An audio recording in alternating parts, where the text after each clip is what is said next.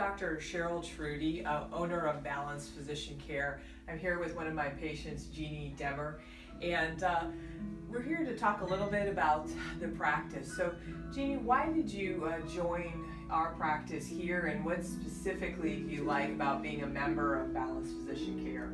So, what originally drew me to this practice was the fact the way that the insurance industry is, is how um, insurance usually never covers anything that we happen to have, like any kind of psych, any kind of dermatology, or a lot of different things. It always goes to uh, our deductible, which we wind up paying full price for anyways. So I originally came here for that reason, and then after being here, I realized um, you're really truly about the health and not um, being driven by the healthcare industry. And um, it was about me and my son. It wasn't about the industry and how much you could um, bill out or whatever. It was truly about um, you're conscious about our costs and what we would and everything that we did. So yeah, so that's what kind of brought you here. mm-hmm.